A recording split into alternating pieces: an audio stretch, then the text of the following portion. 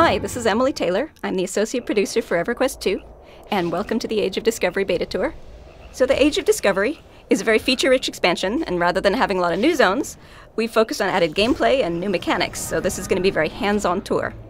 We'll give you a chance to look at the new Beast Lord class, and then we'll head back to Freeport to hire some mercenaries. Finally, we'll look into the Dungeon Maker tool, and we'll learn how players can create and share their own dungeons. So if everyone's logged in, you should find that you're on your Beast Lord, and we're in Everfrost right now. Beast Lords have warders that they can tame, who work in combination with the Beast Lord to create a new style of combat tactics. So the Beast Lords have fewer buttons to press, but they have a more active and reactive playstyle than our other classes, as they react and interact with their warder. When you start a new Beast Lord, you have a warder already, and what species you get depends on your race, but as you travel around the world, you'll be able to tame animals from almost everywhere. So let's go ahead and tame a new warder. Um, most animals can be tamed by Beast Lords, and you get a special Beast Lord Sight ability when you start spending your AA points at level 20. You'll find that on your hotbar. It should be the first icon, and it looks like an eye. So, uh, if you do, if you use that while you're standing near an animal, you should see that the animal will glow with a special effect, and that means that it's tameable. Uh, the second ability we've put in your hotbar is your Tame Warder ability. So to do that, you engage the animal in combat.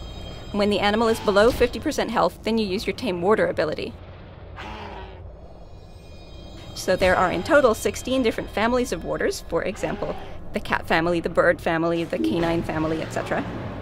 Each of them has slightly different offensive and defensive abilities, so you can figure out what suits you best. So Beast Lords are a class that players have been asking for since the game launched, and we're very excited to be bringing them back to Norrath at last. And we've tried to make it a unique gameplay experience as well, with a lot more interactive elements between the Beast Lord and the Warder than our other classes have. Um, we're fully supporting the Beast Lords by adding in all the class quests, class armor, even an epic quest, just like the other classes have. Welcome to Freeport, new improved Freeport. Uh, we've completely revamped the city. We've converted it from four separate zones into just one, as well as upgrading the appearance. But besides the visual improvements to Freeport, we've added a ton of new quest lines and lore for all of the evil races and classes, and these can be done from level 1 through 90. And since the game will be fully free to play when this content launches, you won't even have to spend a single cent to enjoy the new Freeport. Now you can see up here, this is the Overlord Citadel. On live servers in Freeport right now, it's crashed into the ground about where we're standing.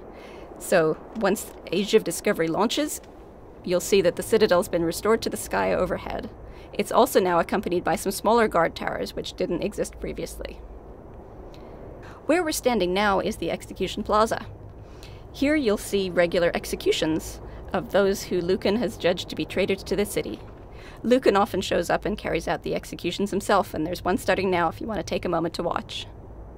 And in case you're wondering, if you jump in that pit yourself, yes, you will die.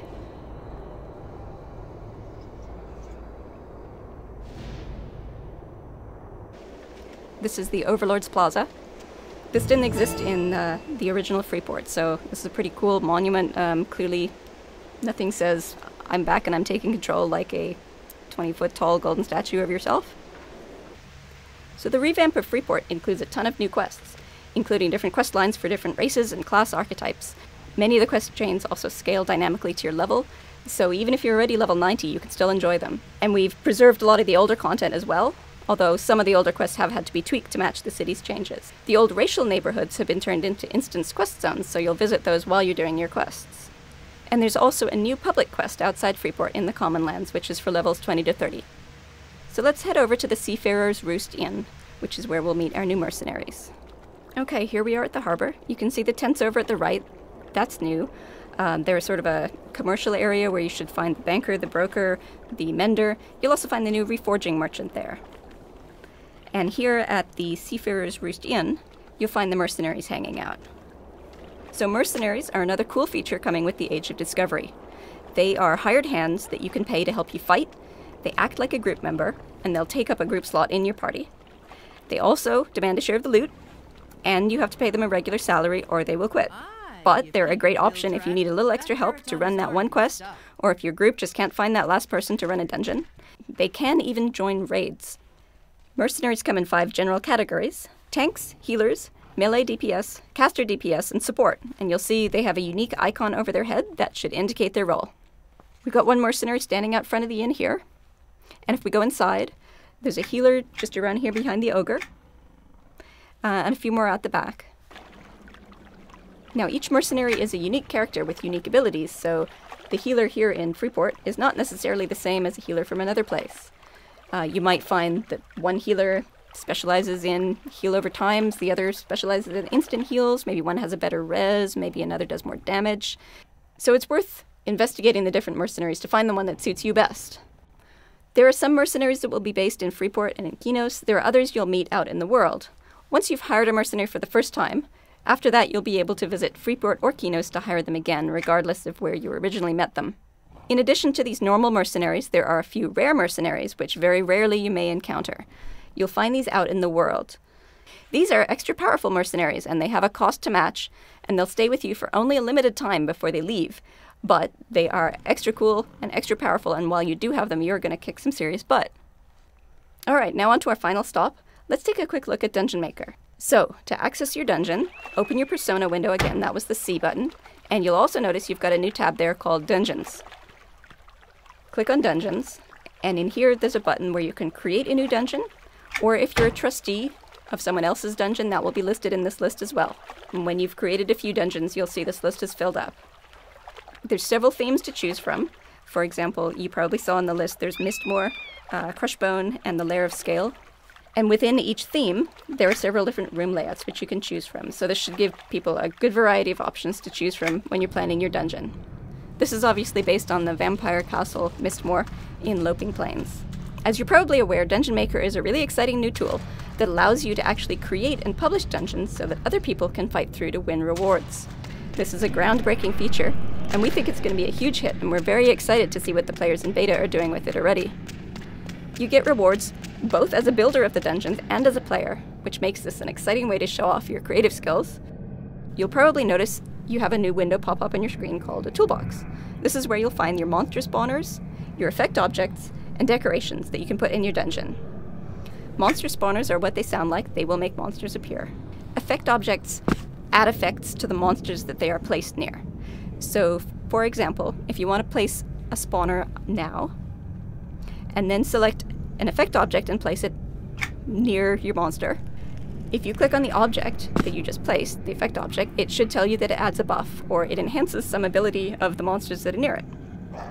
Some examples of effects might be um, adds a chance for every monster in, near the effect object to proc lightning damage when they attack, or increases the awareness radius so that they will call for help for monsters farther away than they would have otherwise, or increases the max health.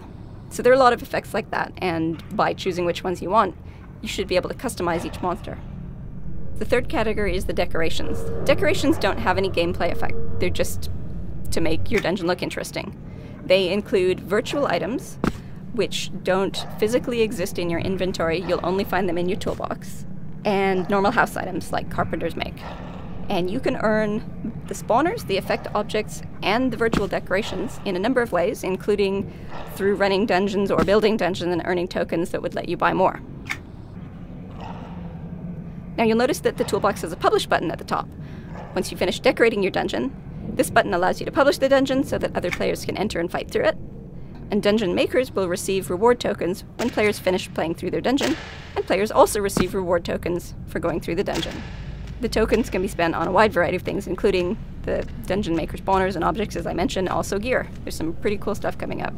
So that's the basic idea of Dungeon Maker. If you want to hop in and run through a dungeon, you can click on your EverQuest 2 menu, that's the EQ2 button, and there's now a dungeon leaderboards option. If you click on that, you'll see all of the dungeons that people have published, so just pick one and go into it. When you zone in, you'll notice that you have a dialog box listing a number of adventurers you can choose. When you're fighting through a Dungeon Maker dungeon, you don't fight as yourself at this point. You choose an adventurer to fight as. So right now you've got about four or five options to choose from. When this goes live, you'll be able to unlock more. You'll be able to obtain them in a variety of ways. And you can choose, each one has different abilities, so you can choose which one suits you best. On the right of your screen, you can see the group window to show you what all of your group mates have selected if you're running through the dungeon in a group. And that way you can choose your adventurer to suit what they've chosen. You don't need a group to run through a Dungeon Maker dungeon, it is optional. You can have as many or as few people as you like, but of course it's quite fun to run as a group. I'll just touch briefly on some other new features with the Age of Discovery. We also have the Trade Skill Apprentice system, which allows trade skillers to mentor an NPC and gain new recipes and get new quests from them.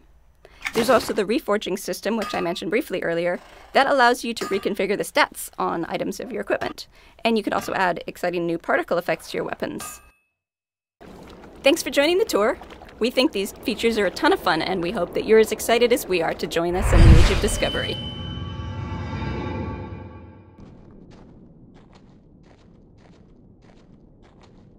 Sony.